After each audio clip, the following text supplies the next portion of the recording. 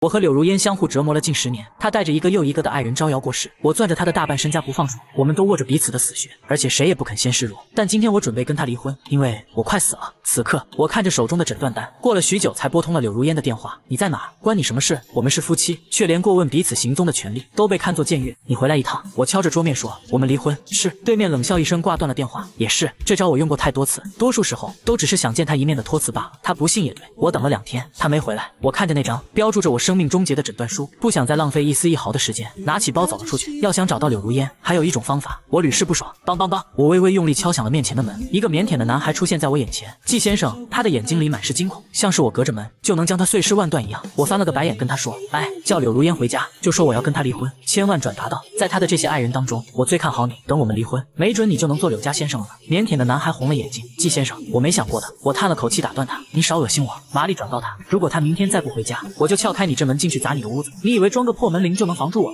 懒得跟他废话，我转身就走。不出意外的话，我今夜就能看见柳如烟，她最宝贝伊藤城。我上门挑衅，他怎么能忍呢？夜幕刚刚降临，他就怒气冲冲地冲到了我面前。我是不是跟你说过，别再去找伊藤城？我慢悠悠地倒了杯红酒，看着他说：“怎么，我就去，你能把我怎么样？”他气得狠了，又不能将我怎么样，只能说着我不爱听的话。我不知道你这样有什么意思。伊藤城已经够听话了，我们之间没感情了，你又不肯跟我离婚，还不让我养一个合心意的在身边，你是不是巴不得每个人都像你一样孤单才好？砰的一声，我摔碎了手中的杯子。他说的对，我是孤单，所以这些年来。才紧紧抓着他不放手，明知道我们之间早就没有感情，还是不肯离婚。对啊，我在地狱，你怎么能上天堂呢？我歪着头看他，嘴里也不甘示弱的反驳着，心里却觉得累。这几年来，但凡见面，我们都是针锋相对，有什么意思呢？我重新倒了一杯酒，坐在他对面，将离婚协议书放在他面前，签吧。就算我要下地狱，也不想在地狱再见到你了。生前就相看两厌了，死后也别讨我的嫌。柳如烟板着脸，然后翻开离婚协议书看了起来。我透过杯壁看他，他还是生的好看，细眉大眼，高鼻薄唇。哦，怪不得薄情，上天怎么如此不公平，让有的人十年如一日的。美丽，你又想干什么？他瞪起眼睛里提防着我，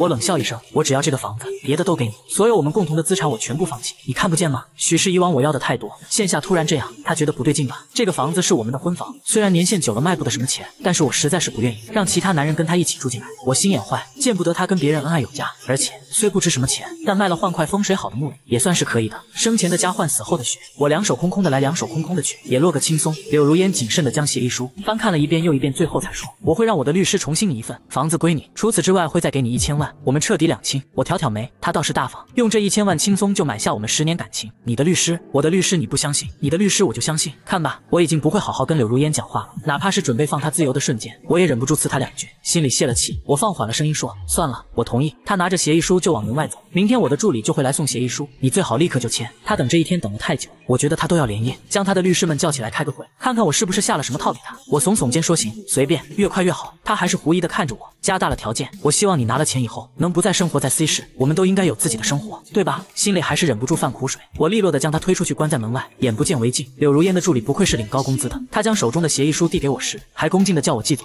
我跟柳如烟闹不和，全公司上下都知道。伊藤城更是大张旗鼓的给他送爱心便当。柳如烟也有意思，为了恶心我，就真的将伊藤城安排进公司做我的助理。不过没多久他就回家去了。柳如烟开始跟我离婚，我没再去过公司，很少有人会叫我季总了。面前的少女是唯一一个。我翻开协议书，在最后一页上签字。季总可以再看一看的，不用了，没什么好看的。我笑着将协议书递给他，转告你们刘总，一个月之后民政局见，他可别迟到，别耽误我最后的时间。是少女礼貌的告辞，我们一前一后出了门。柳如烟不想让我留在 C 市，我自己也不想留在这里。落叶归根，我想回家乡，一路畅通无阻的到达了目的地。我站在了倾城的土地上，想想我已有近五年没回来过了。我先去了一趟墓地，爸妈、爷爷奶奶，我来看你们了。柳如烟说的对，我实在孤单。我靠在墓碑前面坐了下来。我年幼时爸妈就出了车祸，大学毕业之后，爷爷奶奶又相继离世，我将他们葬得很近。我觉得这样方便祭拜。我在这附近也给自己买了一块，一是我实在是有些想你们，二是我觉得这块风水挺好的。哈哈，我没坐太久，初冬的天气已经开始冷了，有细碎的雪花飘下来，我觉得有些冻脚。行了，我先回去了，很快咱们就见面了，到时候再好好说话吧。我非要跟你们好好说说柳如烟这个贱人，这些年到底都干了什么？我絮絮叨叨的拍拍衣服，转身离开了墓地。正是放学的时间，我路过青城中学，在那停了停，穿着校服的孩子们脸上都洋溢着笑容。上学的时光里，放假是最值得开心的事情，哪怕只是周末这样小的假期。我在门口站了很久，还是抬脚往学校里去。哎，你干什么呢？校门口的大爷拦住我，我着急的说：“老师找家长。”大哥，我实在有点着急。一会老师急了，可能是我眼角泛红，也可能是我演技精湛。看门大爷还是让我进去了。我长舒一口气，慢悠悠的在学校里晃。有学生拎着扫帚在打扫，调皮的男生攥起一个雪球塞到女生的怀里，被姑娘拎起扫把追着跑圈。我笑着看他们，好像一晃眼就能看见年少的我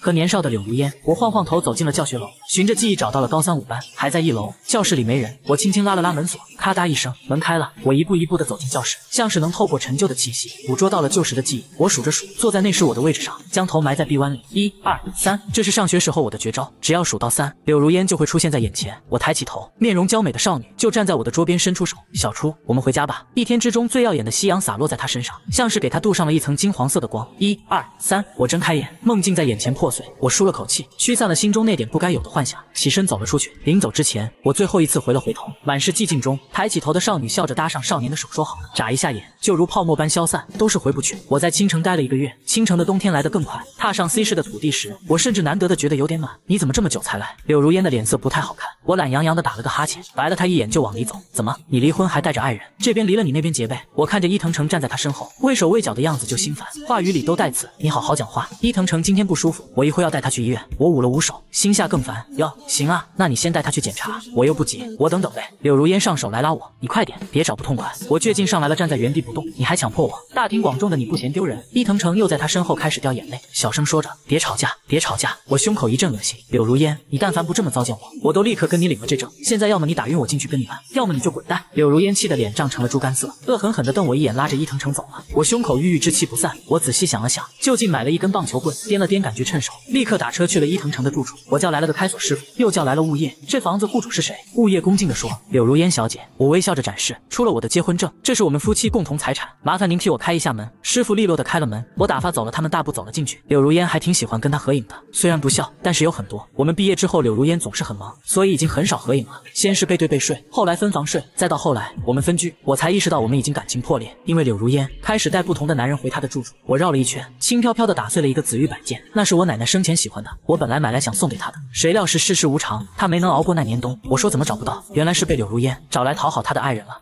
我不再犹豫，将手中的棍棒抡得呼呼作响，很快就将屋内的摆放用品砸了个稀巴烂。许是用力过猛，啪嗒啪嗒，开始有液体滴落在地上。我仰起头将血液蹭掉，低下头就跟惊讶的伊藤城和愤怒的柳如烟对上了目光。气我出，我做事要吐，别叫我的名字。我听着想吐，将棒球棍点在柳如烟胸口，我一字一句的说：明天我们民政局见。这口气我算是出了，这婚姻我一天也不想维持了。季伯初，我真的忍你很久。柳如烟额头上青筋暴起，然后狠狠将我抵在墙角，我的鼻子又开始出血。我仰起头将他倒逼回去。你怎么了？柳如烟手上劲道一松，我轻松站到一步之外。我上火，让你跟你的小爱人气的。我将棒球棍搭在肩上，对着他说：柳如烟，我也忍你很久了，赶紧离婚，你走你的阳关道，我过我的独木桥，这辈子别见了，下辈子也别见了，太痛了。实在是太痛了。有了上一次的教训，柳如烟第二天是一个人来的，我们一句话都没说，立刻签字。随着印章扣下，我们终于拿到了那本离婚证。柳如烟多一句话都不愿意跟我说，潇洒的转身，一次也没回头。我看了她的背影很久，突然想到很久以前的冬夜，她将暖乎乎的热水袋塞进我手里，说：“小初，你先走，我看着你走，那么温暖的手，那么炙热的眼睛，让我数个冬夜都并不寒冷。”呼出一口哈气，我擦了擦眼泪，坐上了离开 C 市的车。柳如烟，我们应该不会再见了。我住进了一家医院，开始不怎么用心的接受治疗。十八床，你怎么又偷偷偷拔针？正插着腰训我的是个实习小护士，年纪很轻，干起活来特别利索，训起人来也毫不留情。我缩着肩膀乖乖被他教训。你是不是不想治疗？你说。我转了转眼珠，半真半假的说，我觉得这太凉了，真的。你能给我找个小的热水袋吗？小姑娘半信半疑的判断着我的话，还是气鼓鼓的拿来一个精巧的暖手宝，不准再偷偷拔针了。她弯下腰叮嘱我，不疼吗？我看着她的眼睛，难得的有些鼻酸。很久没人问我疼不疼了，关心我的人早就不在这世上了。不疼不疼，辛苦小周护士了。说不疼是假的，不过半月，手上已经被扎得没知觉了。我晚上疼的睡不着，只好晃着输液架四处溜达。护士站里面只有小周护士一个人，正不住地擦着眼泪。我轻轻敲她的桌面，怎么了？嘘，她四处看看没人才问我，你怎么不睡觉？我指指输液架说，睡不着。我溜达溜达，她看看我的脸色，伸出手摸了摸我的额头，担忧的问，是不是疼啊？我本来想说不是，鬼使神差的，我点了点头。她对着我招招手，我推开了护士站的门，坐在她身边，吃了一大块甜腻腻的面包，跟她一起看了五集狗血虐恋电视剧，用了一大包纸巾，直到天蒙蒙亮，她才催着我回病房。我叮嘱她，等着我一起看啊，我记着这个剧情了，你可不准准偷看。小周笑着应我说好，快快回去睡觉。在我跟小周一起看了三次深夜电视剧之后，某个深夜，我接到了柳如烟的电话，你在哪呢？我挑挑眉，关你什么事？做夫妻的时候都没资格问的事，怎么离婚了反倒来问？他明显被我噎住，干脆利落的挂断了我的电话，我的好心情瞬间消失，然后恨恨的把他也拉进了黑名单。小周在旁边等我一起看电视，小声的问：“是你家属吗？”我摆摆手，我没有家属，我家里的人都死了。小周指指手机说：“那他呢？”我看了一眼屏幕，想了想说：“他。”他就是个讨厌的人，很讨厌的人。不过一个电话没给我的生活造成什么波澜，我依旧白天睡觉治疗，晚上四处溜达，赶上小周护士值班，就跟他一起看电视剧。可是烦人精不会只是出现一下。一周之后，我接到了一条陌生短信，你把我拉黑了。我撇撇嘴，将这个号码也拉黑了。柳如烟这个人这些年赚了点钱，不知道被谁惯的，有种不达目的不罢休的气势。我好不容易睡着一次，被他连环电话打醒了。忘了，他以前也是千金大小姐。喂，我语气很差，眼睛都睁不开。你怎么不在家？柳如烟的声音透过话筒传过来。啧，我有点不耐烦，但还是耐着性子问：找我有什么事？钱打到你哪个卡上？随便哪个都行。这么点破事，你干嘛打电话来问？别挂，我将话筒拿近了一点说：有话快说，有屁快放。你怎么不在家？他又开始说车轱辘话，我却灵光一闪的问：你在我家呢？我奉劝你赶紧出来啊！这房子我可挂中介了，没准什么时候就有人去看房。你赶紧滚出来，别挡我财路。你要卖？他声音拔高了几度。你要把这个房子卖了？我压下心里那点不耐烦说：不卖留着下载。你少废话吧，赶紧滚出来！你在哪呢？他听上去有几分严肃的问：关你屁事啊！我失去耐心，立刻挂断、拉黑、删除一条龙，然后怎么也睡不着了，睁眼到天明，在心里怒骂柳如烟一千万遍，但再生气还是要被小周护士带着乖乖去治疗。在故乡难免碰到故人，小初，我闻声望过去，是我高中时最好的朋友陈汉生。旧时相见，总是要叙叙旧的。那天得了小周护士的首肯，我难得的拥有了一小会出门的时间。我选了火锅，你过得好吗？陈汉生小心翼翼地问。我笑着说还可以，钱有不少，但命不长了。他夹菜的手一抖，正愣地看着我。我专注地将一块肉放进嘴里，才发现他大滴大滴地流着眼泪。哎，你你怎么了？我赶紧抽出两张纸给他擦眼泪，一时有点手忙脚乱。什么病？我摆摆手，治不了的病，没事儿，一时半会也不会死的。我看着窗外说，我想死在晴天里，冬天还是太冷了。你跟李雪还是那么过。提到李雪，他眼神暗淡了几分，小声说：“嗯，我没劝他，不是人人都要想明白，人生在世，活着开心就行了。能拜托你个事吗？”出了门，我跺着脚问他：“你说，别跟别人说你遇见我的事，要是有空，可以多来看看我。可能是冷风吹。”他眼眶红了一圈。嗯，柳如烟不知道吗？嗯，我们离婚了。他不用知道。陈汉生不再说话，我们都沉默地望着前方。上学的时候，我跟柳如烟是感情极好的小情侣，陈汉生就是追着李雪的跟屁虫。北风呼啸，纵使有过好时光，也是过眼云烟，转瞬不见。回到病房，因为不规范饮食，被小周护士抓住把柄大骂一顿。我乖乖听训，表示以后绝不再犯。他不退反进，拿了一个推刀要剪我的头发，我死死守住。我们争论两天，不过是出去吃了一顿饭，以后不去了不就得了吗？怎么还要剪头发呢？小周护士跟我讲道理，你要开始化疗了，化疗就会掉头发，我们剪掉更好一点哦。我思索着问，不化疗是不是就行了？小周护士大怒，我笑着安抚他，好了好了，我考虑考虑，考虑考虑。他还要跟我再说什么？有个高挑的身影走进来，直直走向你找谁啊？他也不理他，就只是冷着脸盯着我，像是想从我脸上看出什么阴谋诡计一样。找我的，小周护士，快放过我的头发，出去上班吧。他皱着眉打量着女人，又看了看我，小声说，有事就叫我。我点点头，才将他送了出去。转过头看向柳如烟，我问他，不用跟伊藤城过元旦吗？情人节、圣诞、新年，伊藤城总是有各种各样的理由叫走柳如烟。有一段时间，我甚至厌恶各种节日，他们让我显得更加的孤苦伶仃。后来习惯了，觉得一个人过也不错。他又要来讨人嫌，这又是你什么把戏？心口一滞，原来就算习惯了锋利的刀子，撕开伤口的时候还是会痛。我叹了口气说，是，这就是我新的手段。你可不要上当受骗，赶快走吧，你跟我一起走。他做事就要来拉我，我猝不及防被他拉着走了几步。我啧，你放开我！我加重了语气甩开了他的手。我们现在毫无瓜葛，懂吗？你怎么会在这儿？他松开我的手，往后退了两步。你休想用生病这种借口，在我这拿走更多的钱。你也知道，我们已经离婚了。我小口的换着气，只觉得心脏里的血液都开始不流通，阵阵麻痹。我甚至不想跟他说一句话，只能将他往外面扯。滚，赶紧滚！带着你那两个钱去找你的小爱人，从我眼前消失。最后一句话，我几乎是嘶吼着出口。柳如烟咬着牙，整整衣领，反手关上了门，走了出去。小周护士有些担忧的打开门，你还好吗？我惨白着脸问，说不好的话能不输液吗？不能，那我还好。柳如烟从那次之后就没出现在我眼前。我又过了一周安生日子，陈汉生倒是总来看我，虽然我们都说不了几句话，生怕有哪一句就碰触到了彼此的痛处，但总体还算融洽。我总是希望他能给我偷运一些垃圾食品，但总是已被小周护士发现，从而没收来收尾。我无语凝噎。农历新年一天比一天近，小周护士偷偷跟我说，天气越来越冷了。我笑，腊七腊八，冻死俩三。我哈着气数着时间，在外面放风也得准时回病房，不然又被小周护士讲，转身的时候用力过猛，撞在一个人身上。我一阵头晕眼花，后退着道歉，不好意思啊，不好意思。揉着额头绕过他，我就往前走，却被反手拉住了。季伯初，柳如烟的脸又出现在我面前。要不是天气太冷，懒得伸手，我真想扇他一耳光。干什么？我毫不畏缩地怒视着他。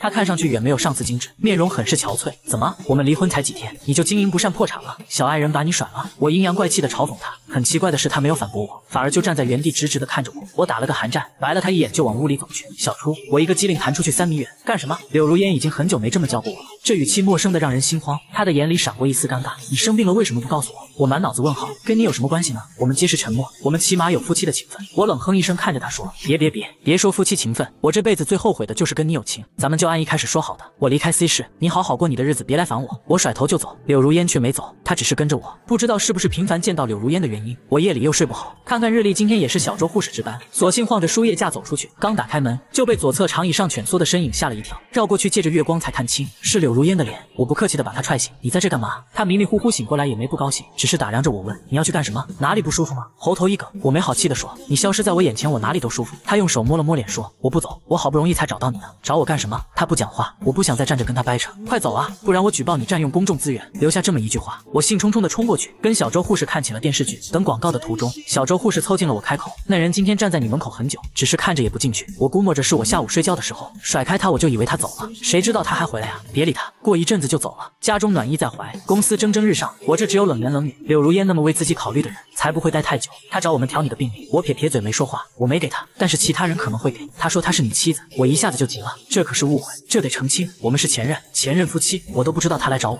是关心我，还是觊觎我分他的那点财产。小周护士立刻警惕起来，防备的看着我身后，你干什么？我一转头，差点被吓出心肌梗塞。你干什么呀？一直跟着我。柳如烟阴沉着脸说，不是为了钱。我长叹一声，望向天花板，不是为了钱，还能为什么呢？我只能拉着他回病房，盘腿坐在床上跟他讲话。算你赢，行了吧？到底需要我做什么？给你多少钱？你需要多少钱？柳如烟沉默着将我的手放进被子里，伸出手握住了输液管，对着我笑，睡一会吧。你别这样。我对着他摆手，这样吧，你直接把转让合同写好，我签字，然后你滚蛋，行吗？柳如烟咬着牙瞪我。季伯初，你这张嘴早晚把我气死！我冷哼一声，不好意思，那可能是要死在您前面了。天上下刀子，柳如烟流眼泪，我还没死呢，你这么快就猫哭耗子假慈悲上了。我伸出手在他眼前晃了晃，心更堵了。小初，我后悔了，你别吓我好不好？柳如烟通红着眼睛，伸出手来勾我的手指。这么多年，他还是知道怎么哄我，我最心软。上学的时候，但凡他惹我生气，只要坐在我面前，低着头勾我的手指，放缓了声音说：“小初，小初，别生气嘛，小初最好了，我最喜欢小初了，别生气了好不好嘛？”滚蛋！我气得很了，猛地起身踹了他一脚。我最厌烦他装作十八岁。的样子来讨我欢心了。每每在我原谅他之后，他他就带着那双十八岁时的眼睛做伤害我的事。我更厌烦自己总是心软。柳如烟像是伤透心了似的站起来，我就在门外。你要是想我，就叫我好不好？多一秒钟，我都能流下眼泪。怎么不想他呢？但是再想，也见不到十八岁的柳如烟了。二十八岁的柳如烟，我想也不敢想。小周护士要回家过年了，她贴心的叮嘱我，好好吃药，好好输液，不准拔针，不准乱跑。我乖乖跟着她背诵。小周护士很满意。我趴在台子上问她，能多开点止痛药吗？晚上好痛好痛啊！小周护士摇头。凑近了说：“你要不就让那人进去，让他陪陪你，也是是过年吗。”我努努嘴说不，就是因为他在门口，想想就难受，心里痛，身上就更痛。年三十这一天，柳如烟不在我的病房外守着了，我也不在乎，自己溜达了一圈，就跑回房间看电视机去了。外面的鞭炮声噼啪作响，我站在窗户边上蹭了个喜气。邦邦，小初，新年快乐！柳如烟眨着眼看我，嘴角带着笑意，手中捧着蛋糕，夜色里只有蛋糕上的烛火闪耀在他的眼里。小初，许个愿吧。他兴冲冲地将蛋糕往我面前推，我手扶着门没动，神色复杂的看着他。柳如烟，你真没意思。我忽地吹灭了那根蜡烛，说：“两年前的大年夜，我说一个人过年孤单，想让你陪陪我，你回来了。然后晚上十一点的时候，你说要走，说有什么大项目，合作伙伴的老总不过新年，你得去加班。什么加班？我都听到了。伊藤诚说他好害怕，他想让你陪陪他。我双手交叉在胸前，靠在门框上说：你走的那天夜里，我一个人过年，觉得那年冬天太冷了，新年也没什么意思。从那天开始，我就不再期待新年了。你忘了？我没忘，我早就不再期待新年了，我也不再有新年了。柳如烟的手在抖，像是想要找什么借口来掩盖。我懒得听，我知道你去陪陪他应该的。我最后悔的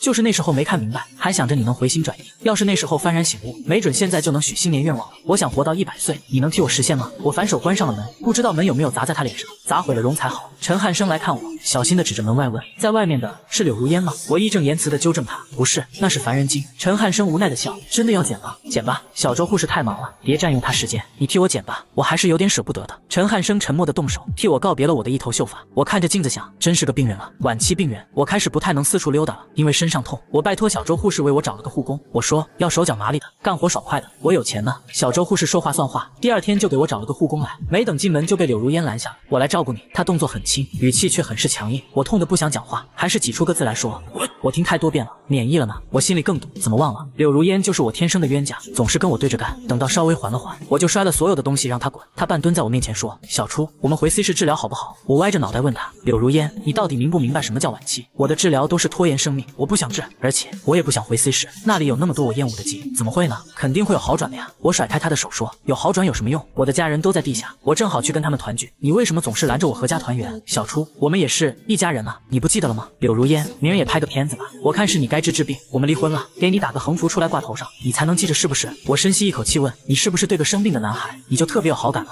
一开始你喜欢的男孩是不是就是你那助理？他病了去医院挂点滴，你就跟人家好上了。后来伊藤诚也是三天两头跑医院，我恍然大悟，懂了，你就是喜欢病人。柳如烟苍白着脸摇头，你这个癖好挺奇怪的，真的，你趁早你看看去吧。对着他这张脸，我现在都开始恶心。我警告你，别再碍着我找护工，我就算明天就死，我的钱也不留给你。我取出来从窗口扬出去也不给你。柳如烟红着眼睛，拿出盆来放在我身下，说随便你。他拍着我的背流泪，我更恶心了，将晚上吃的东西吐了个干净。柳如烟没再拦着我的护工进门，只不过她有时候会帮我请来的护工大姐干活，我睁一只眼闭一只眼，全当是满足她这奇怪的癖好。只要不在我眼前晃都好。元宵节这天，大姐请假，我欣然应允。毕竟大姐的小孙子呢奶声奶气，我喜欢的很。窗外还在放烟花，我靠着窗户看外面。小初，窗边凉。我转过头看柳如烟，她一直没走，一个多月一直待在这，睡在外面的长椅上。小周护士一开始还赶她，后来悄悄跟我说，她总在你睡着的时候去给你暖液体。我不好意思赶她了。柳如烟，我们出去走走。元宵节是不一样的。年少的时候，新年里这一天，柳如烟会从家里偷偷跑出来，牵住我的手到学校后面的小吃街，拿她的压岁钱请我吃好吃的。柳如烟家族势大，她总是要从各种聚会中偷偷逃出来，穿着公主裙，像个小公主一样出现在我眼前。一年里面，我最期待这一天。我曾经问她，要是你家里不同意我们在一起，该怎么办啊？柳如烟笑得开怀，她轻轻抱住我说：“小初，那我们就私奔，像现在一样。”后来确实，柳家希望她嫁个门当户对的男孩，不想她嫁一个连亲人都没有的孤儿，她毅然拒绝。然后在某一个元宵节，带着我从这个城市离开。我永远记得那年颠簸的火车上，我趴在她怀里，我没有家人了。柳如烟，她紧紧抱着我说：“小初，我们组成一个新的家，我做你的家人。”那年她牵着我的那双温暖的手，激动到像要从喉咙蹦出来的心脏。我一直记得誓言声声入耳。如今物是人非，我们为彼此做过的那样多，怎么也会走到今天这种地步呢？我想不明白，就不再去想。我想吃那个。我指着一根烤肠对柳如烟说：“小初。”他面露难色。我撇撇嘴上前去，准备自己买。好了，给你买就是了。你站在这里等我，那里烟大，你别去了。我心满意足地咬了一口，久违地找到了年轻时候的感觉。随后又指挥着柳如烟给我买了糖葫芦、鱼丸、冰碗，自己拿不下，我就勉为其难的用柳如烟给我做人工支架，这吃一口那咬一下。小初，她突然开口：“闭嘴！”我瞟她一眼说：“你要是讨我的嫌，你就滚回去。”小初，少吃一点吧。她声音有点哽咽，我抬眼望过去，只能看到她微红的眼眶。哭什么呀？你是不是守在这，就是为了看我什么时候死啊？我叹了口气，甩开她，一口气走出好远。小初，小初，是我说错话。柳如烟快步追上来，小声问：“再吃一点吗？”不吃。我刚刚不痛快，自然也不能让她高兴，这些都对身体不好。你是不是想我早死啊？柳如烟垂下眼来，见我要走，还是伸手扯我的衣角。小初，想不想吃米线啊？后街的那一家，那是我们以前每年必去的一家店，我最爱吃他家的东西。可能是食物的诱惑，也有可能是身后冲过来一行年轻的学生，更有可能是柳如烟穿着裙子低下头的样子，跟某一年某一刻某一个瞬间重合。我点点头说好。米线店换了老板，以前的老板是个胖胖的大哥，现在换了一对年轻夫妻，看着更亲切。可我还是想要原来的大哥，食物味道也不一样了，创新了许多。我没吃几口，柳如烟也没怎么动筷子。结账的时候，小夫妻叫住我们说：“能问一下，是食物味道不好吗？我看你们都没怎么吃。”我摆摆手，不是，就是就是喜欢原来的。食物也是，人也是，变了就是变了，留不住的。我们并肩往回走，天上又开始放起烟花。我看着柳如烟的脸，想被爱的人还是拥有特权。许个愿吧，在放烟花呢。我站住脚，吸吸鼻子，看着他，快点。柳如烟踮起脚来，贴近我的脸颊。她平视着我，认真的说：“如果上天能听见，我希望能回到过去。”我扯了扯嘴角，对她说：“上天听到了，并对你说了一句，说出来的愿望不灵哦，老天爷听不见的，因为我早就许了一万遍，没有反方向的钟，也没有过去。今天氛围太好，我还是开了口。伊藤诚的伤不是我推的。”柳如烟的嘴角向下落去，你让他来当我的助理，我确实生气，但不要脸的是你，我不至于对他下手。他的手段太恶劣，你居然真的信？我越说越气，没让他进屋，你真是太脏了。我又狠狠关上了门，希望门能将他拍死。很快我就不怎么能下床了。医生问我要不要手术，说这样有一定风险，但是成功的话可以多活几个月。原话不是这样讲的，我自动翻译了一下，我说不要。柳如烟说要，我嘲笑他，你说了不算，你现在都没有资格在我的病危通知单上签字。他又流眼泪，我不想看，我们早没关系了，他不能替我做决定，这世上早没人能替我做决定了。我一直没让柳如烟进门，她长期睡在门外的椅子上，小周护士都来劝我，要不让他进来住。我大惊失色，你可是我这边的人啊！小周护士笑着说，是啊，可是你不是偷偷给他盖被子吗？谁先失城池，我还是不让他进来。我跟小周护士说，这是我唯一一点坚持了，生命走到最后，要说有什么希望，就是想要更对得起自己一点。我不能原谅他，那让我觉得愧对自己。柳如烟进不来，就开始送花给我，我最喜欢白玫瑰，她日日订上一大束给我。我摆弄了半天，笑了一下，跟陈汉生说，你来给我上坟的时候也带这个花吧，我不太喜欢菊花。陈汉生半晌才说好。柳如烟第二天就换了粉玫瑰，我想好吗？果然，陈汉生就是个小骗子，是敌军的奸细。但我也没说什么，粉玫瑰也对我心意。我半夜的时候睡不太熟了，总能看见模糊的影子坐在床前。我寻思着，莫不是身子弱到这种地步，还是我逝去的家人来接我了？直到那人握住我的手开口：“小初，我错了，是柳如烟啊。”柳如烟的泪水跟他手的温度一般无二，那么冷漠的人却有着滚烫的体温。我闭上了眼，重新睡了过去，跟他说：“滚太累，不如我的睡眠重要。”他日日来我床头，总在夜半时分说有的没的。小初，你不要我了？嗯呐，不要了。小初，你瘦了好多。嗯，病的。小初，你原谅我好不好？我已经让其他人都走了，以后我会按时回家，每天都跟你说我爱你，就像以前一样。我鼻子一酸，睁开眼睛看他，柳如烟，你是不是知道我对你的纵容，所以才一直试探我呀？他沉默下来，小初，我错了，你错在哪里呢？不过就是觉得厌烦，所以要去找新的人而已。不过就是觉得一直在身边的人突然不在了，有点不爽，然后发现他很快就要死了。所以愧疚，不是，我不是。柳如烟十八岁样子，跟二十八岁流眼泪的样子都一样，瘪着嘴角，眼泪啪嗒啪嗒的落下来。柳如烟，你早就不爱我了，别说这种自欺欺人的话。我勉力直起身子说，就算我现在立刻好起来，跟你回家，很快你也会厌倦这种生活。你就是喜欢找新鲜的感觉。如果我们生活在一起五年、十年，你又会忘了这一切，还是会有一个又一个年轻的男孩找上门来。我不会，他声音太小，我全当听不见。你又会重新带他们到我面前，问我要不要离婚。他们说害怕你就会走，他们说难过你就会抛下我安慰，他们说自己意外受伤了，你就会自动把我带入恶人的角色，然后对我大加指责。小初，我打断他，没关系，真的没关系，我从来就没想绑着你，就是害怕你看不清自己的心。你怎么怎么能把愧疚当成爱呢？柳如烟捂住脸哭了起来，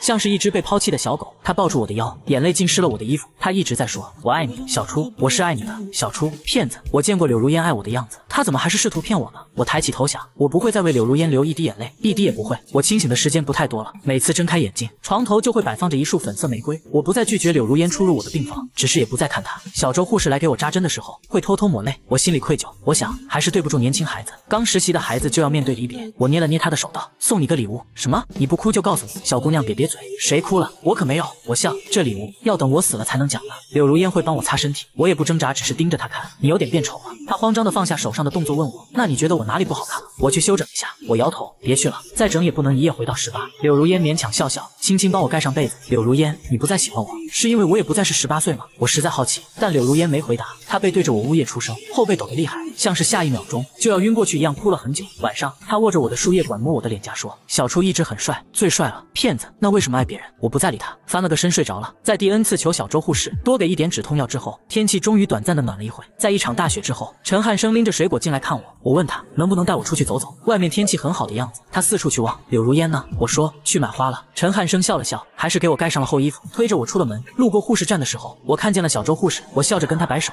他却低下头流了眼泪。我叫陈汉生去给我拿另一件外套，自己在原地等他。电视剧还没看完呢，小周护士红着眼睛说。我笑，三百集已经陪你看了二百九十八集了，那还有两集呢。他在跟我说想要我回来，剩下两集你自己看吧，一定要看完哦。我在跟他说我要去新世界，我大概知道我这是俗称的回光返照。小周护士还要说什么？我对着他摆手说，小周护士一定要开心哦，那么善良的孩子要好好的过剩下的生活。陈汉生推着我走下楼，我让他停在一块温暖的阳光地，初春的阳光暖。我懒洋洋的问陈汉生，你告诉柳如烟我在这里的。陈汉生顿了一下，弯下腰来问我要不要喝点水。我笑，没关系了，没关系。李雪要结婚了吧？他这次没沉默。嗯，你怎么想？他的视线移得很远，声音像是被风吹过来一般。我不知道。我点点头，没再说什么。二狗，我突然开口叫他的小名。陈汉生身子狠狠一脚，红了眼圈。二狗，你还记不记得我们上学的时候有什么心愿？陈汉生扯扯嘴角，想了一下，说想做烘焙师。那时候我们最爱吃甜品，希望能做出最好吃的甜品，让每一个吃到的人都开心。多简单的愿望啊！陈汉生是被妈妈一个人拉扯大的，相似的人总爱相互取暖。我们努力靠近彼此，寒夜的雪会被温暖的阳光融化。柳如烟就是我生命中最火热的那束光。小初，小初，小初！我转过头，看见柳如烟抱着一束粉玫瑰，在窗口叫我的名字。她很是急切，半个身子都探出了窗外。我远远的看着她，想这样就好，只这一眼就好了。我们回去吧。陈汉生动手要推我走，我伸出手挡住他，坏笑着说：“二狗，这是对你偷偷告诉柳如烟的惩罚，就要你一个人送我走。”陈汉生的泪水涌了出来，我抬起手给他擦眼泪。二狗，你看，要说我最想看到的是什么，就是现在这个场景。我偷偷指着柳如烟说：“他关心我，照顾我，担忧我，因为找不到我就急得满头大汗。从第一次遇到柳如烟开始，一直到今天，正好是我人生的一半。我向后靠着，想让自己舒服一点。一半了，多漫长的岁月，好的、坏的，都是从他那里得来的。最真挚的情感，最恶毒的话语，最难以放下的感情。我闭了闭眼，声音哽咽地说：“二狗，我们怎么就栽在一个女人身上呢？最开始的梦想，最简单的愿望，最容易的快乐，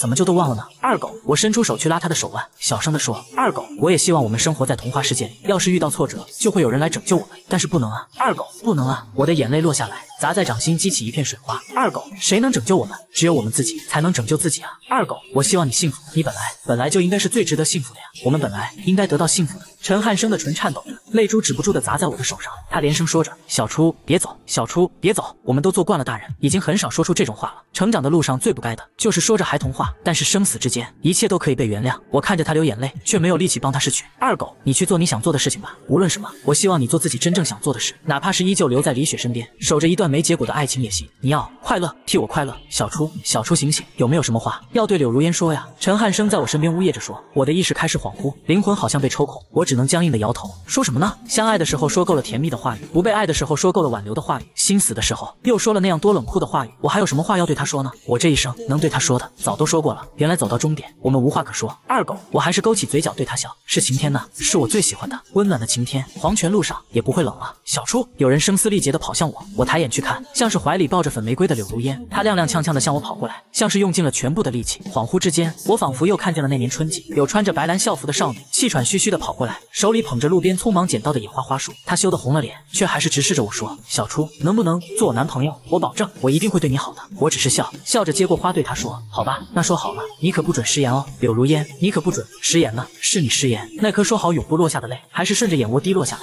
春回大地，我长眠不醒。柳如烟番外，你不想见我，是不是？是墓碑不讲话，照片上的人只是笑，我却有点怀念他活生生的站在我面前骂我的样子，哪怕就只是拎着棍子把家里砸个稀巴烂也好。可惜不能，你多心狠啊，一句话也不留给我，最后一面也不让我见，只留下一块自己早就买好的墓地。小周护士哭得可惨，她说她永远也不看那最后两集电视剧了，她答应要一起看的。孩子哭得凶，把眼睛都哭肿了。我摆弄着那一大束玫瑰花说：“你给他的钱，他都捐出去了。你的眼光一贯比较好。”小周护士是好孩子，她说她本来就是治病救人，这些钱要去更有意义、更需要帮助的人手里。除了爱我，你都认准了人。陈汉生跟李雪分了手，李雪婚也没结，就每天守在他买的那一小家店铺面前。陈汉生也不见他，我想肯定是小初跟陈汉生说了什么，他也不会告诉我。小初，你怎么一次也不到我梦里来？我还是伸手摸上他冰冷的照片。也是，你应该怪我，我给自己开了一瓶酒。小初，我也怪自己，一开始只是新鲜，新鲜吗？怎么后来走着走着就回不去了呢？小初，我从来不想跟你离婚，你肯定不信，但我不想跟你离婚。我以为，以为你永远不会走，你一直在我身后，只要我回过头，你就在我身后的呀，怎么会走呢？是我贪心。小初，我说什么你也不信，没关系，你不来见我，我就去见你。我都忘了，我的愿望是跟你有个家。小初，你走之后，我真的没有别人了，你肯定觉得我可笑，我也觉得自己可笑。怎么走到今天，才又明白自己想要的是什么呢？你肯定以为是陈汉生告诉我你在哪里的，对不对？不是，是我在找你。小初，是我在找你，我找了你很久，家里不在，公司不在，我好慌啊，我找不到你。后来我找到你了，你却躺在医院里，我宁愿你是骗我、骂我、